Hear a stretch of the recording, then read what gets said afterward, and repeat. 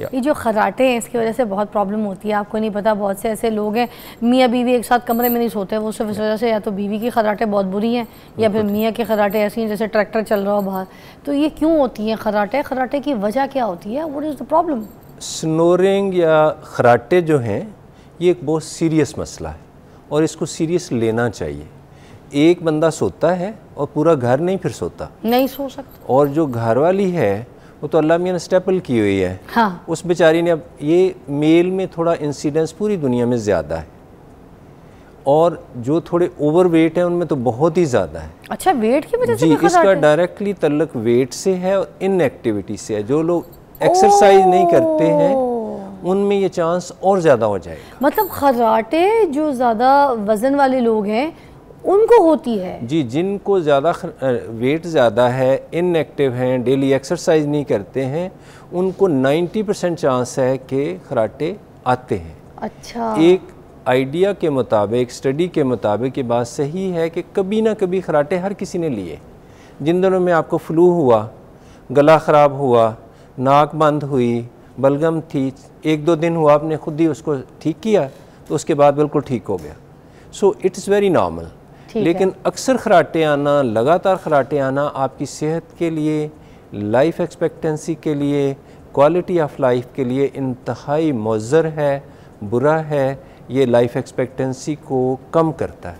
अच्छा मोस्टली मैंने तो जितने भी चौकीदार घर में रखे हैं जो चौकीदार भाई चाचा जो जो हमने रखे हैं इस तरह Yeah. वो तो खराटे ही लेते हैं। वो तो इतनी खराटे लेते हैं वो तो मैं तो खैर उनको कभी नहीं बोला कि खराटे ना ले। मैं ये कहती थी कि चलो चोर आएगा तो उनके खराटे सुनकर खुद ही भाग जाएगा। हाँ नहीं नहीं चोर मगर खैर खराटे वेल अवेयर है उनको पता है कि काम ठीक चल रहा है। हाँ कि बंदा कोई चारपाई पे बाहर नहीं सो रहा है कार पार्क में। अच्छा मुझे ये बताइए खराटे एक तो आपने बोला मोटापे की वजह से दूसरा आपने कहा जो लोग एक्सरसाइज नहीं करते वो क्या थकावट की वजह से भी खराटे होती है जिन लोगों को कभी खराटे नहीं होती और कभी कभी खराटे हो जाती है क्या? लोग कहते हैं ना थका हुआ बहुत है इसलिए यार इस तरह सो रहा है। जी खराटे की मेन वजह जिनको मुश्किल आते हैं और उस खराटों के दौरान उनको झटके भी लगते हैं और कभी कभी उनको उठ के बैठना भी पड़ता है। हाँ। और सुबह उठते हैं तो वो खिंचे खिंचे होते हैं। जी। कि वो डीप स्लीप में जाते ही नहीं हैं। हम्म। ये लोग सुपरफिशियल स्लीप से दोबारा उठ जाते हैं। इनको झटके भी लगते हैं।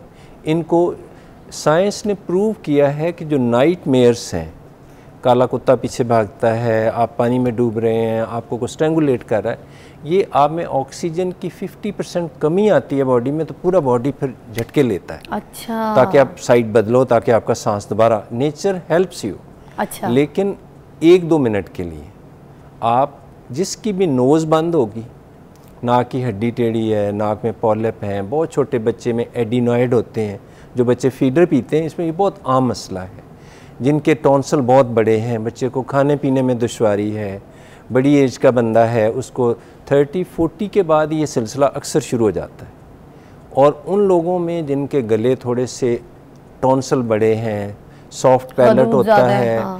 काग जिसको कहते हैं यूवला वो थोड़ा लंबा है सिगरेट स्मोकर है और जो लोग ड्रिंक करेंगे उनको 80 परसेंट चांस है कि आएँगे। डॉक्टर साहब जब अगर किसी के कान ख़राब रहते हैं कान में पस रहती है या फिर टॉन्सन्स का बड़ा पेन है उनको भी ज़्यादा होता है ये खराटों का प्रॉब्लम नहीं ईयर का डायरेक्टली से तलक नहीं है। ईयर बहुत सर के आखिरी हिस्से में नाक को कान से मिलाया हुआ अंदर से।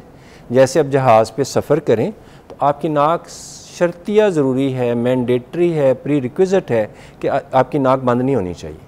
जब भी आप माउंटेनस एरिया जाएँ या एयर फ्लाइट्स पे जाएँ तो आपकी नोज़ वाइड ओपन मोटरवे की तरह ओपन होनी चाहिए। अच्छा। सो so, थोड़ी सी भी कंजेशन है एलर्जी है इन्फेक्शन है तो आप प्लीज़ नाक को अच्छी तरह फ्लश करके सफ़र करें।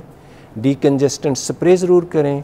कोई एलर्जी की गोली ले लें लेकिन नाक शुड बी वाइड ओपन और सफ़र के दौरान हरगिज़ हरगिज़ चिल्ड चीज़ें आइसी चीज़ें ज़्यादा ठंडी चीज़ें बिल्कुल ना लें। अगर आप लेंगे तो जो ही आप लैंडिंग करेंगे टेन परसेंट लोगों के कान बंद होंगे और कुछ उसमें से सीधे हॉस्पिटल भी जाएँगे। अच्छा और वो अच्छा। इतना ईयर एक होता है साइनस में पेन हो सकती है कान में पेन हो सकती है वो एयर ट्रैप हो जाती है।